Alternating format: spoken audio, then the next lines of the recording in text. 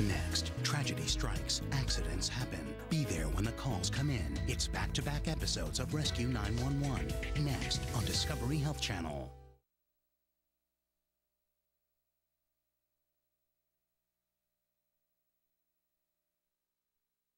This is 911. Do you have an emergency? Today on Rescue 911. Then, a boat race turns deadly. The five-point harness wouldn't release. Dive in with the rescue team We've been underwater at least two to three minutes without oxygen. on Rescue 911.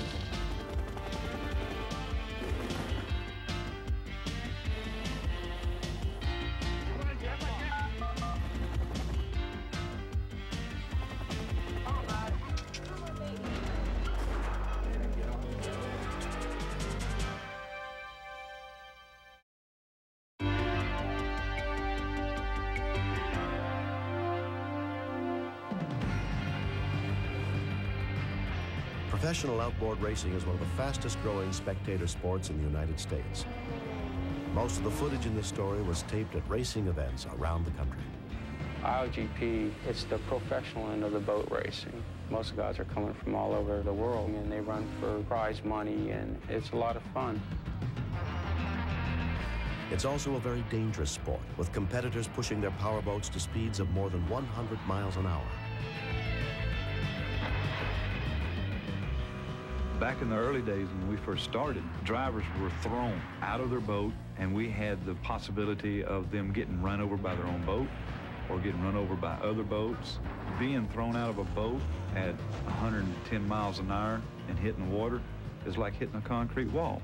There's no giving in the water.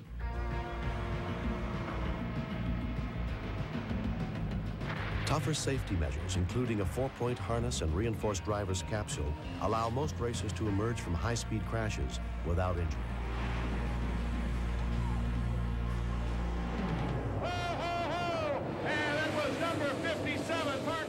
But when a racer does need help, the Star Rescue Team is on the scene within seconds. There has been a lot of drivers that have refused to race if we're not there. You know, one of the problems is they've got to where they have so much trust in us sometimes that they might push a little too hard.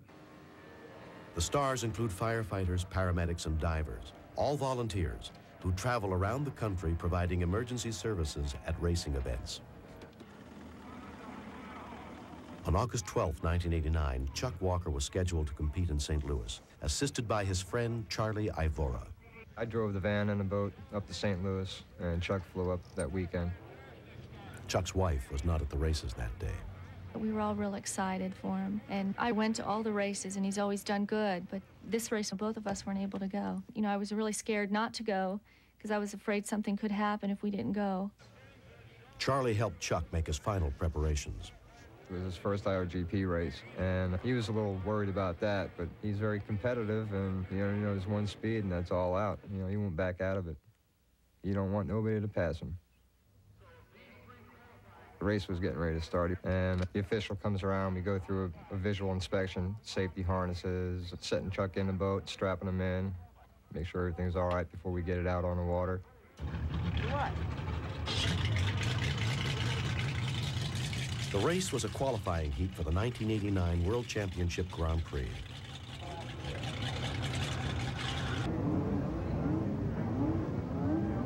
Twenty seconds and the flag is up. They're under starter's orders. Jeff Titus, official starter, IOGP, and down goes the flag.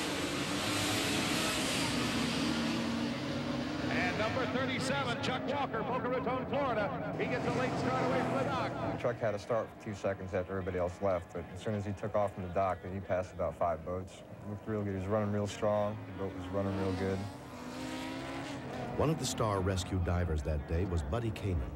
We had four rescue craft on the course. I was on turn four and started out to be a real good day. Chuck didn't get a real good start, but he was coming on around. And Meyer goes to the inside, and that puts number 50, Glenn Reynolds, up in second place. And oh, we got one over down here. That was the late starting number 37, Chuck Walker. The accident looked like a training accident almost. It was so slow. At that point, I thought before I can enter the water, he'll be out of the boat. Anytime we have an accident, we stop the race immediately. And then we have the closest boat to the accident respond in. And all the boats have come to a stop. The red flags are out.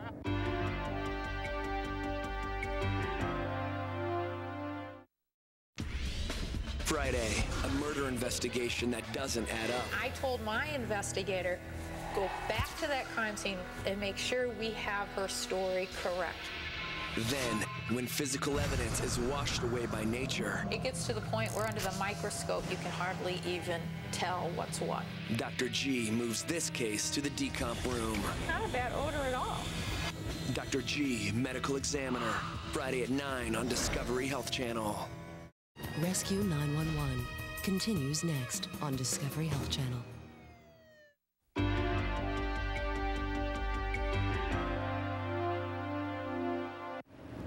My craft responded. I was in the water in approximately 15 seconds from the time the accident happened.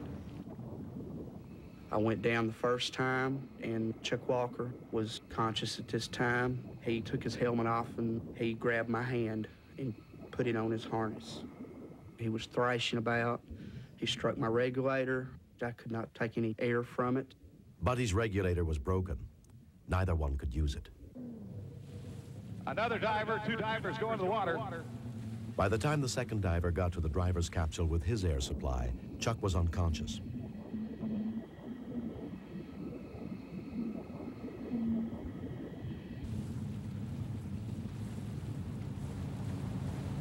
After 30 to 45 seconds, I was getting real concerned because they should have had him out by then, you know, or he should have been able to get out by himself by then.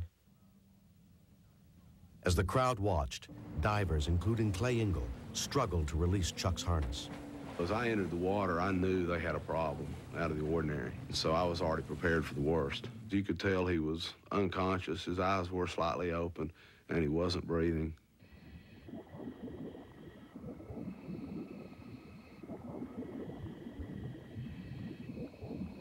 As soon as I realized that we couldn't get the belts undone underwater, I immediately went back up and hollered for somebody to hand me the seatbelt cutters.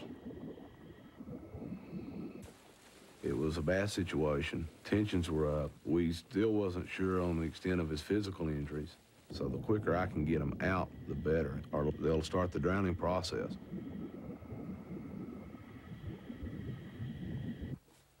Could happen right in front of a crowd and right in front of the judge's stand. And I remember during the rescue not hearing anything.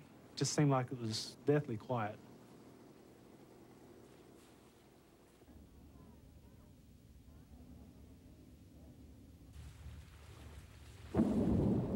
It was taking too long to cut Chuck out of the jammed harness. When I saw him like that, instantly a timer went off in my mind. Okay, time is a factor. You know, let's do what we have to do. It's hard to get him out upside down because buoyancy and everything will keep him pushed up in there. Above the water, they were trying to flip the 1,400-pound boat. We need to hurry up and get this boat turned over or this guy's going to die. You know, when you got a life in balance like that, minutes seem like hours.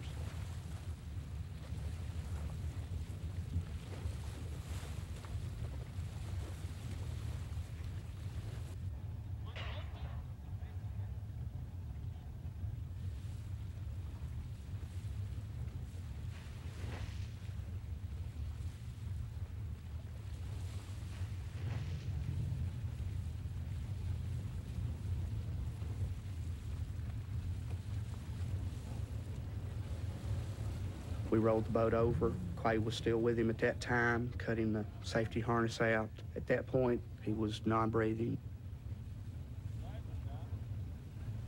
I started artificial respiration on him.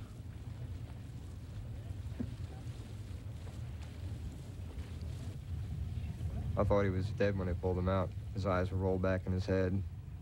He was purple as can be, and he wasn't moving.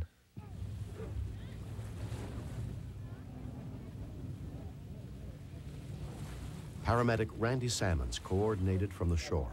We felt we had something pretty bad because we'd been underwater at least two to three minutes without oxygen, so we were preparing for the worst. They came to shore, patient was cyanotic and was having a full-blown seizure.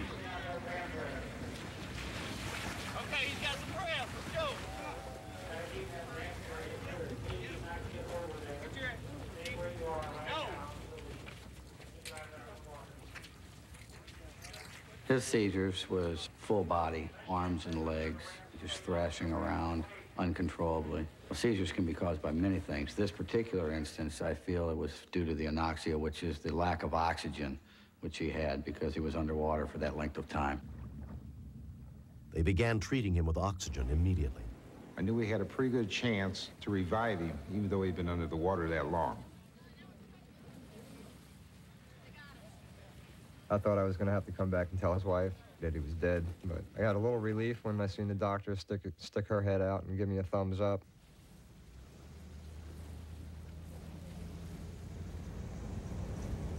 By the time the ambulance left the scene, Chuck was breathing normally. He was taken to St. Anthony's Hospital for further treatment. When I went up there Sunday, he wanted out so bad, you know, the doctor wouldn't release him. He was getting ready to pull the IV out because the race was getting ready to start. He wanted to go to races. By the next day, Chuck Walker returned to the races as a spectator. I relayed the information to all the rescue crafts and even the pickup boats. And it just seemed like a whole air of newness came over them that Chuck was there.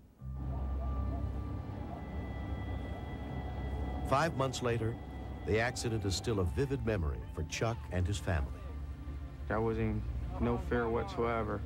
When the boat flipped, I remember it going over just as plain as day. I kept saying to myself, I said, those stars are going to be here. Those stars are going to be here. They're going to get me. I think if this Star Rescue team wasn't there, Chuck would have been dead. I think they're the greatest, and I welcome them in my home anytime. They're just a great, great bunch of guys. I'm not going to say the boat will never flip over again because if it ain't going to flip over, you're not driving it hard enough. You know, I've kind of had a bad experience, but I feel like I'll be back next year. I'll be ready to do it to them. You know, 100% ready. I like him racing, but when he's in a really bad accident, I really don't want him to race again because I think he's the best daddy in the whole wide world.